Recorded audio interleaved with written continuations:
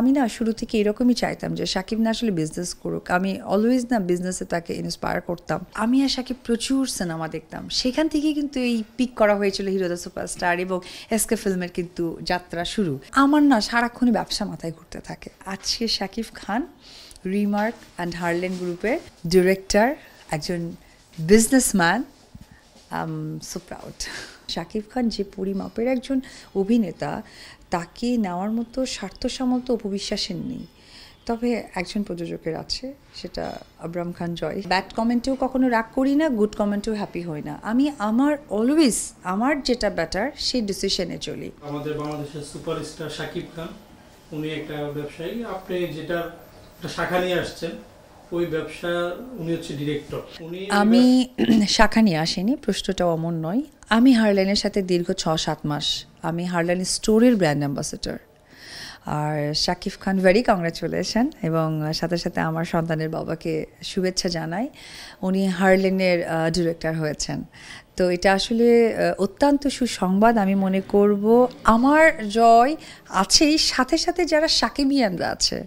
তাদের জন্য তো এটা অনেক বড় একটা পাওয়া। এবং আমি না শুরু থেকে এরকমই চাইতাম যে সাকিব না আসলে বিজনেস করুক। আমি অলওয়েজ না বিজনেসে তাকে ইন্সপায়ার করতাম।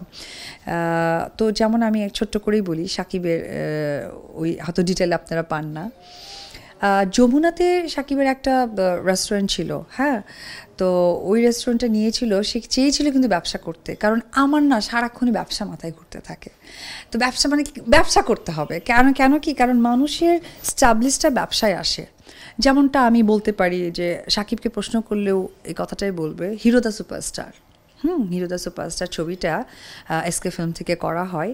তো আমি ও মিলে এরকমই আমরা প্ল্যানিং করতাম, কি করা যায়, কি করা যায়। তখন নায়ক নামে একটা সিনেমা দেখেছিলাম।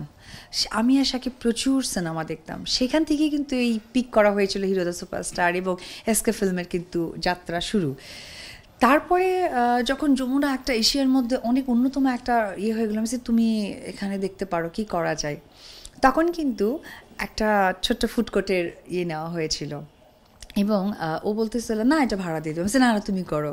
তখন অনেক কিছু ভেবে চিন্তে আমরা কিন্তু হট চিকেন একটা নাম দিয়েছিলাম।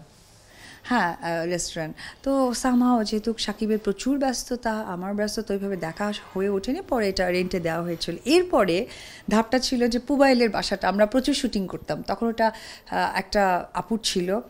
তো ওই আপুর থাকাকালীন তখন মানে আমি বলতাম, না না না, এটা নাও, আমাদের যেহেতু এত মুভি হচ্ছে আমাদের তো মুভির একটা বাসা ভাড়া করতে হয় তো এটা ইনভলভ করো। তখনই কিন্তু এটা নেওয়া হয়েছে। মানে আমার না সারাক্ষণ অভিনয় পাশাপাশি ব্যবসাটা করতে ইচ্ছা করে।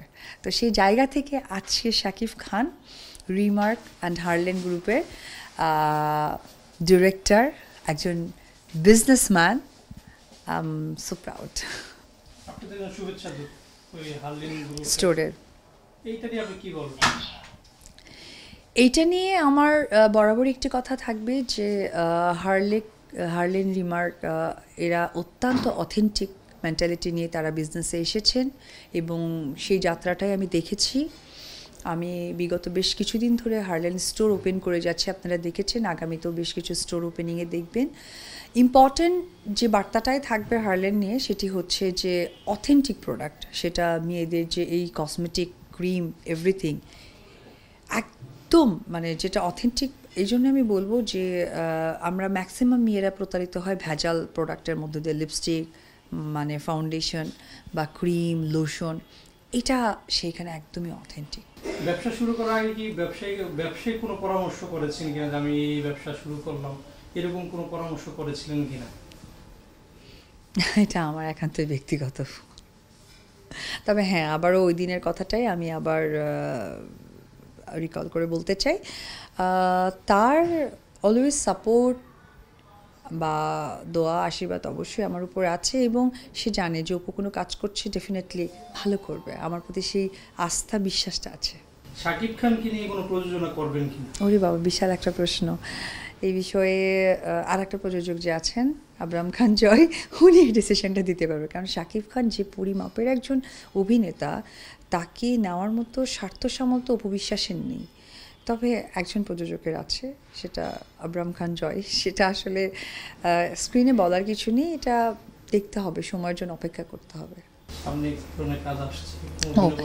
সামনে দেখেন আমার কিছু কিছু সময় মাঝে মাঝে ফেসবুকগুলোতে দেখি যে অপু বিশ্বাস একদমই কাজ করছে না এই করছে না এটা আসলে মুখরোচক কথা কারণ প্রত্যেকটা মানুষের না প্ল্যানিংয়ের বাইরে কাজ করা সম্ভব নয় আরেকটা করা হয়ও না আমি প্ল্যানিংয়ের বাইরে আমাকে যতই পাম দিলেও ফুলবো না পাম বের করলেও হালকা হব না। কারণ আমি ব্যাড কমেন্টেও কখনো রাগ করি না গুড কমেন্টেও হ্যাপি হই না। আমি আমার অলওয়েজ আমার যেটা ব্যাটার সেই ডিসিশনে চলি। আমি চেয়েছিলাম এরকম একটা প্রতিষ্ঠান করতে এবং বছরে আমি তিনটা বাইরের ছবি করব আর একটা আমার প্রোডাকশানের করব। বাকিটা সময় আমার সন্তান এবং আমার নিজের। এই নিয়ে আমার বছর সাজানো। অভিনেত্রী পাশাপাশি একজন নতুন পরিচয় পরিচিত হলেন, আপনার একজন ব্যবসায়ী। আপনার ব্যবসা কেমন চলছে? একটু জানতে খুব অল্প সময় ব্যবসাটা স্টার্ট করেছে আপনারা সকলেই দেখেছেন জানুয়ারির বারো তারিখে।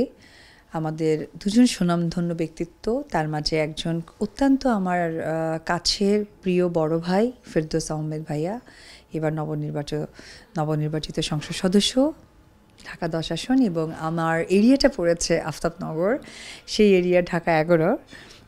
সংসদ সদস্য আমাদের সদ্র বড় ভাই, ওয়াকিল আহমেদ ভাইয়া। তাদের উপস্থিতিতে আমার ছোট্ট একটা ব্যবসায়ী বলতে পারেন, যাত্রা শুরু করেছি। আসলে আমার এই বিজনেসের পেছনে বেশ কিছু চিন্তাধারা নিয়েই আমি কাজ করি। আমি আসলে প্ল্যানিং নিয়ে কোনো কাজ আমি করতে পারিও না, হয়ে ওঠে না। বাট এই কাজটা ওইরকম প্ল্যানিং না বাট একটা চিন্তাটা আমি মাথায় রেখেছি, নারীদেরকে কেন্দ্র করে। তো ব্যবসা আলহামদুলিল্লাহ খুব অল্প সময় খুবই ভালো চলছে। এটা আসলে আমি বলব আমার প্রাপ্তি না আমার ফ্যান ফলোয়ারদের সকলের সাপোর্ট এবং প্রথমে ধন্যবাদ জানাব যে মানুষদেরকে তারা হচ্ছে আপনারা সাংবাদিক ভাই বোনেরা আপনারা একদম নিজের ভেবে প্রচার করেছেন। সামনে এই ব্যবসা নিয়ে কি ধরনের পরিকল্পনা রয়েছে? প্রথমে আমার ইচ্ছে আছে আমার ব্রাঞ্চগুলো বাড়াবো। তো সেই জায়গা থেকে সেটার জন্য সময় দরকার। মাত্র তো স্টার্ট করেছি। আর আমার এই একটা ছাদের নিচে আসলে ছোট ছোট করে তিনটা স্টল মানে স্টলই বলতে পারব। যে স্টলটা করার কারণটা হচ্ছে যে, আমি ব্যবসা বুঝি জানি। আমার ফ্যামিলি ব্যাকগ্রাউন্ড যেহেতু ব্যবসা করেছেন আমার বাবা, আমার কাকা, তো আমার তো এক্সপিরিয়েন্সটা নাই। এইটা বোঝার জন্য আসলে এই ছোট করে একটা হাবের মতো করে দেওয়া স্টার্টিং আর এটাকে ইচ্ছে আছে বড় করার। পাশাপাশি আমার যে ইচ্ছেটা একেবারেই বেশি সেটি হচ্ছে পার্লারের সাথে আমি যে যুক্তটা করতে চাই সেটি হচ্ছে যে নারীদেরকে আমি ট্রেন আপ করতে চাই। যখন আমার একটি প্রতিষ্ঠান থাকবে তখন আমি যে নারীদেরকে এই পার্লার সাথে যুক্ত করতে চাই তাদেরকে যে শিক্ষা দিতে চাই, প্রশিক্ষণ দিতে চাই এটা তখন অথেন্টিক মনে করবে। আমি যদি এসব পার্লার না দিয়ে হঠাৎ করে বলতাম, আমি আপনাদেরকে নিয়ে কাজ করতে চাই, আপনাদেরকে গ্রুমিং করতে চাই, তখন ভাবতো কি যে তা অপু বিশ্বাস হয়তো নায়িকা বানাতে চাচ্ছে বা মডেল বানাবে। যেহেতু আমার পরিচিতি, আমি চিত্রনায়িকা এবং আমি প্রযোজক হয়েছি ভেরি সুন লাল শাড়ির মধ্য দিয়ে। তো এই ধারণাটা আসবে। যার জন্য আমার এই পার্লার আর আমার মূল ইচ্ছেটাই হচ্ছে যে আমি নারীদেরকে স্ট্রং করতে চাই। যেসব নারীরা তাদের পারিবারিক জীবন থেকে শুরু করে অনেক টানপড়নের মধ্য দিয়ে যায়, তাদেরকে স্টাবলিশ করতে চাই। দেখা যাক কতটুকু করতে পারি। আর রেস্টুরেন্টের সাথেও আমার ওই ধরনের যুক্তিটা আছে। সেটি হচ্ছে যে রেস্টুরেন্ট মানে মানুষ ভাবে যে খাবারের বিজনেস করছে। বাট আমরা যদি পৃথিবী ঘুরে দেখি, আপনি খেয়াল করে দেখবেন যে মানে পার্ট অফ জব আছে, একটা পার্ট টাইম জব আছে। পার্ট টাইম জব কারা করে? যারা স্টুডেন্ট তারা করে। তা আমি চাই যে কিছু কিছু ছেলেরাও যদি আমি এরকম ট্রেন আপেরও প্ল্যানিং করছি নট শিওর যেখানে ছেলেরা বারিস্তা হতে পারবে রেস্টুরেন্ট ট্রেনিংটা করতে পারবে ম্যানেজিংটা করতে পারবে, এই ধরনের কিছু ইচ্ছে আছে আমার। এখন উপরওয়ালা জানেন, তার ইচ্ছের উপর তো কিছু নয়, দেখা যাক।